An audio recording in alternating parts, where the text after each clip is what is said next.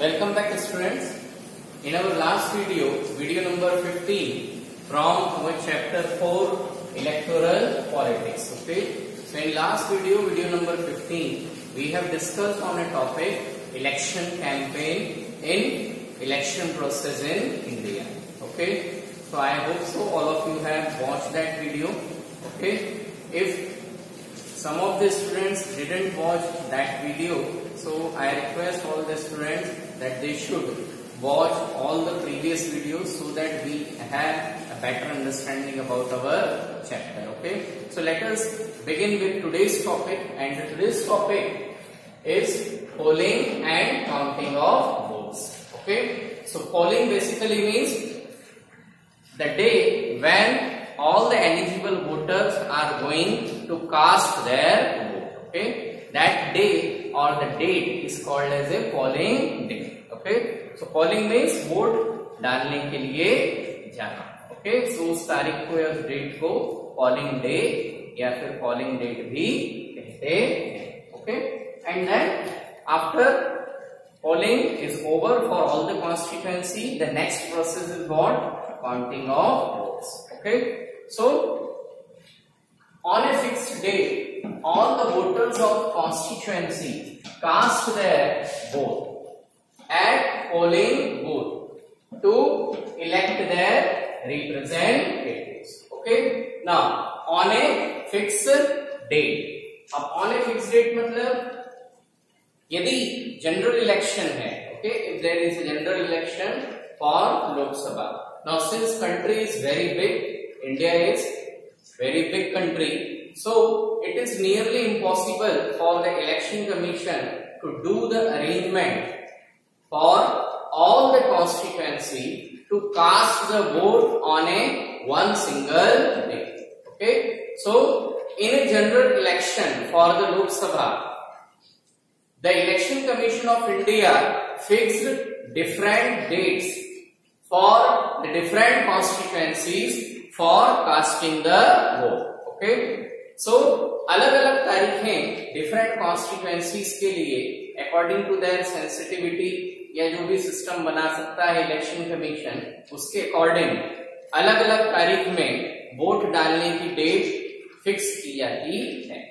So it is happening in some constituency voting take place okay earlier then after five और six days for some of the other constituency voting takes place, okay? For an example, जो last Lok Sabha election 2019 में हुए थे okay उसमें पहली vote यानी first date of casting the vote से लेकर लास्ट डेट के बीच में लगभग एक महीने एक महीने दस दिन के आसपास का डिफरेंस था।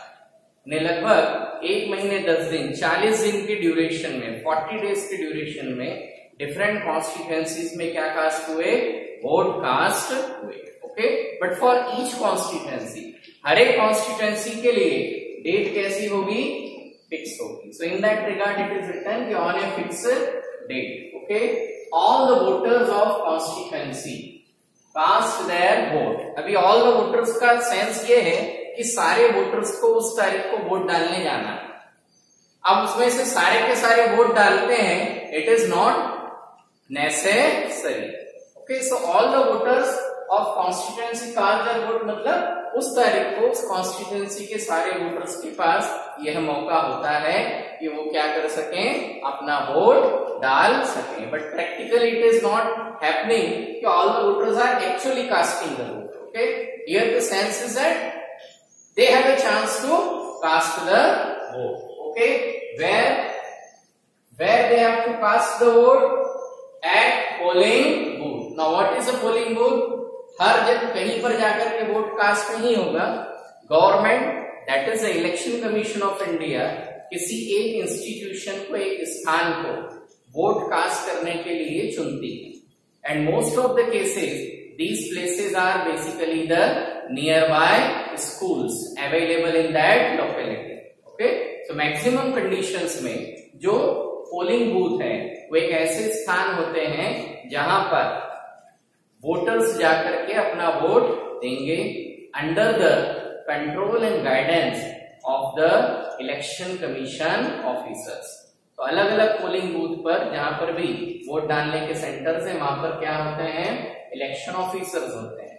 And under their control and guidance okay and surveillance the voting take place okay in maximum cases the polling booths are chosen as the schools available nearby okay but if there is a case a school is not available for an example maybe in a village okay so वहाँ पर फिर ग्राम पंचायत का भवन या फिर और कोई जो बेस्ट पॉसिबल अरेंजमेंट है दैट इज़ बीइंग डन हर एक पोलिंग बूथ के लिए election commission appoint a highest officer that is called as a booth officer okay in वो पोलिंग बूथ पर वोटिंग प्रोसेस से related each and every activities के लिए रिस्पॉन्सिबल पर्सन है.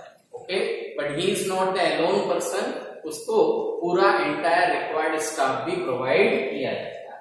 Okay and on polling booth they cast their vote to elect their representatives okay हर एक polling booth में in each polling booth the different political parties are allowed to install their representatives, okay or the agents तो हर एक polling booth पर जितने भी candidates चुनाव लड़ रहे हैं, उन्हें ये परमिशन है वो अपना कोई ना कोई एक रिप्रेजेंटेटिव जिसे बेसिकली एजेंट कहा जाता है इन कॉमन कन्वर्सेशन वो वहाँ पर बैठाते हैं।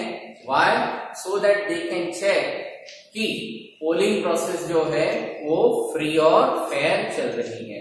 पोलिंग में किसी प्रकार की कोई गड़बड़, धांधली या माल प्रैक्टिस नहीं हो रही है। Okay so to see to observe to have a watch on the polling process the political parties appoint their agents on polling booth okay earlier earlier means before 25 to 30 years back earlier voting was done through ballot paper okay आजकल तो electronic voting machine है that will discuss but इससे पहले voting किसके ज़रिए होती थी?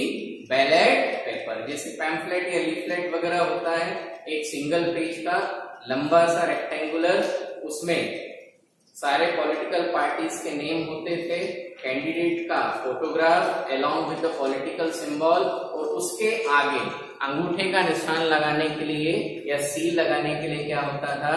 एक बॉक्स बना होता था okay so voters use to put stamp on the ballot paper okay उस कैंडिडेट के सामने का जो बॉक्स है। ओके ना in that case what was happening कि कई बार वोटर्स जो थे, वो क्या करते थे? एक बार किसी एक कैंडिडेट के नेम के आगे क्या कर दिया? उन्होंने सील लगाई। And later on they change their mind because there are number of people in our country who are illiterate उतने ज़्यादा डिसीजिव कैपेसिटीज के नहीं है। So what they did earlier कि पहले कैंडिडेट के नेम के आगे सील लगाया later on they change their mind and दूसरी जगह भी सील लगा दिया। And in that case what happens that a one single ballot paper have stamp for two candidates तो उस प्रकार के जो वोट्स हैं those votes are considered as rejected vote they are not considered for counting okay so you might have heard about कि बहुत सारे votes क्या हो गए बेकार चले गए रिजेक्ट हो गए so these were the cases okay where votes are rejected but the problem is solved a lot because of the introduction of electronic voting machine okay so nowadays voting takes place through EVM आजकल voting किसके ज़रिए होती है EVM electronic voting machine once the voting is over EVMs are sealed and taken to a secure place for counting okay एक बार voting over हो जाए। Voting complete हो गई। ना जिस दिन पोलिंग डेट होता है in case of India on that day voting is allowed from morning seven A M up to five P M okay जो वोटिंग डेज़ है दैट इज़ पोलिंग डे उस पोलिंग डे में vote डालने के लिए समय कब से है? From morning seven A M up to 5 P M in special cases if something wrong happen by the guidance of election commission of India voting time can be extended but those were the very rare situation वो situation बहुत rare होती हैं कि voting time क्या हो जाए extend हो जाए। But yes there is a possibility through a long process और वो पूरा एक एंटायर सेटअप और process is involve okay so once the voting is over that is शाम को पाँच बजे के बाद all the EVMs are seal सारे ईवीएम्स को क्या करेंगे? सील करेंगे, ताकि कोई बाद में उस ईवीएम को ओपन करके, किसी प्रकार का कोई माल प्रैक्टिस गलत काम नहीं कर सके okay the sealed EVMs are taken to a secure place हर कहीं ले जाकर के नहीं रख देंगे। एक सिक्योर प्लेस पर ले जाया जाता है। नॉर्मली यदि लोकसभा इलेक्शन हो रहे हैं तो जितनी भी ईवीएम्स हैं in the entire Lok Sabha constituency उस एंटायर लोकसभा कॉन्स्टिट्युएंसी में जितने भी पोलिंग बूथ है उन सारे पोलिंग बूथ की जो ईवीएम्स हैं इलेक्ट्रॉनिक वोटिंग मशीन्स हैं, उनको नॉर्मली किसी एक सिक्योर प्लेस पर ले जा करके अंडर द टाइट सिक्योरिटी रखा जाता है। बट समटाइम्स यदि कोई एक कॉन्स्टिट्युएंसी लोकसभा कॉन्स्टिट्युएंसी इतनी बड़ी है, इतनी लार्ज है, कि it is very difficult to transport the EVM from the farthest places तो कभी कभी उस कंडीशन में, जो उस एक सिंगल लोकसभा कॉन्स्टिट्युएंसी है, उसकी ईवीएम्स को दो सेंटर्स पर डिवाइड किया जाता है। और फिर जिस दिन वोट काउंटिंग होना है, दोनों सेंटर पर क्या होगी? वोट की काउंटिंग होगी। And for the final result the counting of both the centre are added to the respective candidates okay so it depends on how much big the electoral constituency is and what are the transportation facilities available okay so once the voting is over all the evms are sealed सारे evm को seal लगाएंगे okay in the presence of the agents of the political party उस political party के जो agents हैं उनकी presence में and then they are taken to a secure place secure place means under a very tight security and they are being kept till the date of counting the votes. On a fixed date okay? अभी जैसे polling के लिए date fix है, उसी तरीके से votes के counting के लिए भी डेट कैसे होगी? फिक्स होगी okay as have discussed earlier in the same video कि for an example in case of the Lok Sabha constituency okay different dates are decided for casting the vote at the different constituencies अलग अलग constituencies में vote cast करने की date कैसी है? Different है। Okay so vote की counting के लिए जो डेट है, वो कौन सी फिक्स किया जाएगा? जब लास्ट कॉन्स्टिट्यूएंसीज के क्या हो जाएँगे? इलेक्शन ओवर हो जाएँगे वोट कास्ट हो जाएगा। उसके 10 या 15 दिन के बाद सुटेबल टाइम पीरियड में जब तक कि इलेक्शन कमीशन अपना पूरा इंतज़ाम ना कर दे ओके उस तारीख को क्या किया जाएगा? There is a counting for all constituency takes place okay so on a fix day counting for all constituencies takes place clear so ऐसा नहीं है कि इन किसी एक कॉन्स्टिट्यूएंसी में यदि वोट पहले डाल दिया गया है तो उसकी काउंटिंग शुरू कर दी जाए और उसका रिज़ल्ट डिक्लेयर कर दिया जाए।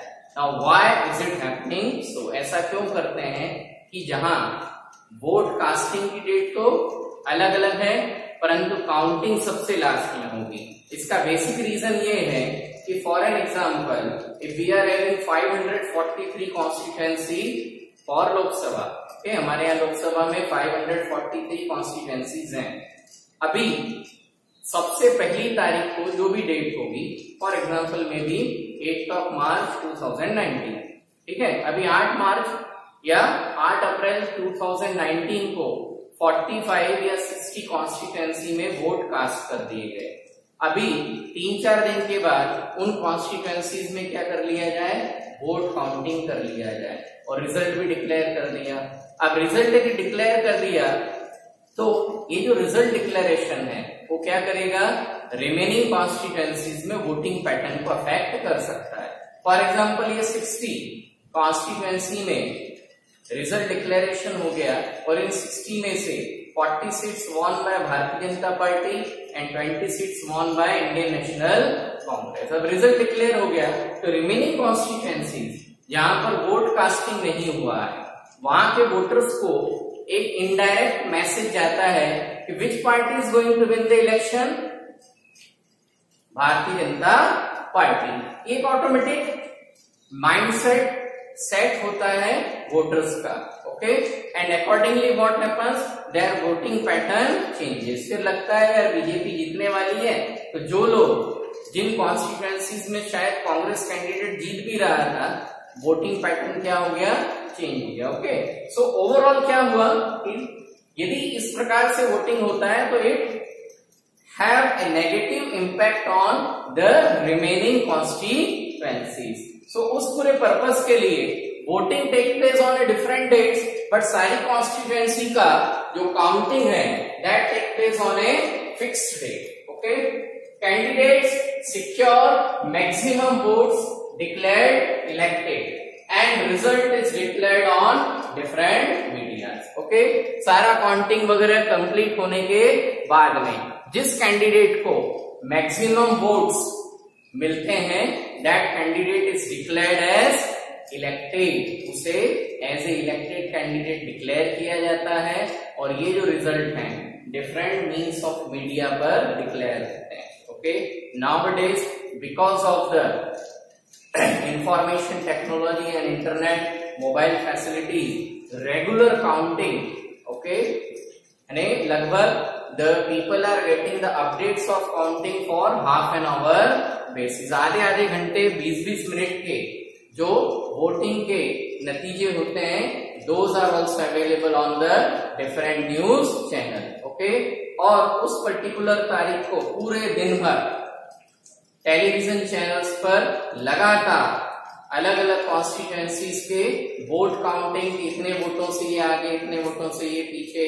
These many seats are won by BJP in Rajasthan this is the tally of Odisha like that regularly the updates are given okay well so जो इलेक्टोरल कॉन्स्टिट्यूएंसी है ऑन दैट इलेक्टोरल कॉन्स्टिट्यूएंसी का जो centre है for example we are having Chandrapur Lok Sabha electoral constituency okay so हमारी Chandrapur Lok Sabha constituency में, चंद्रपुर शहर में ही वोट काउंटिंग होती है ओके सो फाइनली जब वोट काउंटिंग हो गई, जो कैंडिडेट्स को मैक्सिमम वोट मिले that candidate is declared as elected उस कैंडिडेट को क्या करेंगे?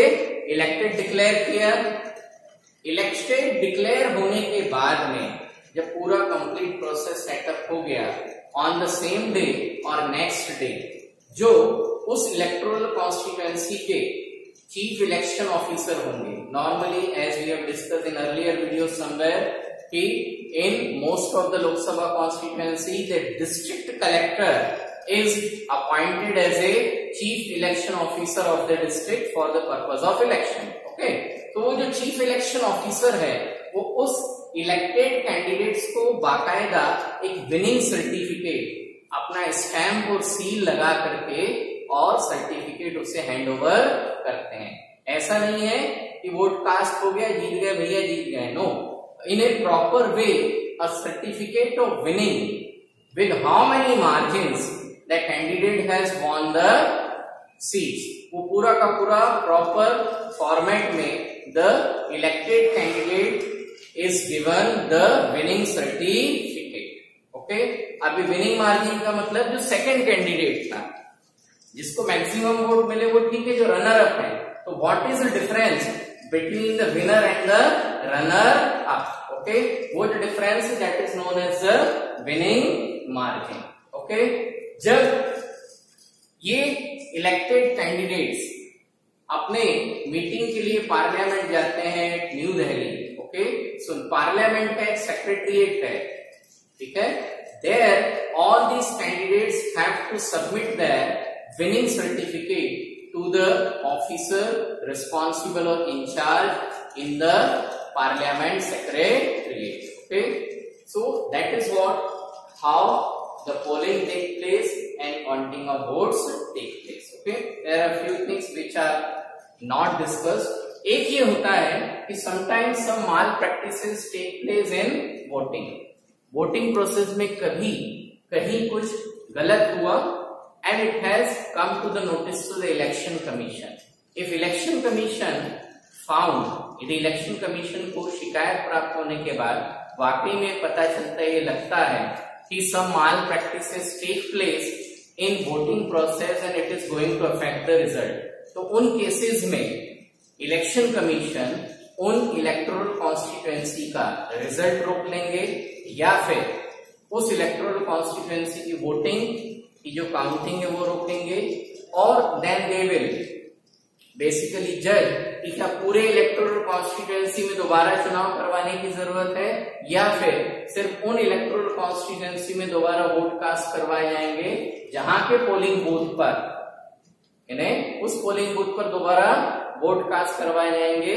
Where the report are observe for malpractices okay so overall this is what about the polling that is casting the board and counting of votes okay so this is all about the election process in India there are number of sub steps may be there okay because it is a very vast area but these are the topics which are broadly given in our syllabus okay? So in next videos we will continue some more aspects related to the electoral politics okay in coming videos. Thank you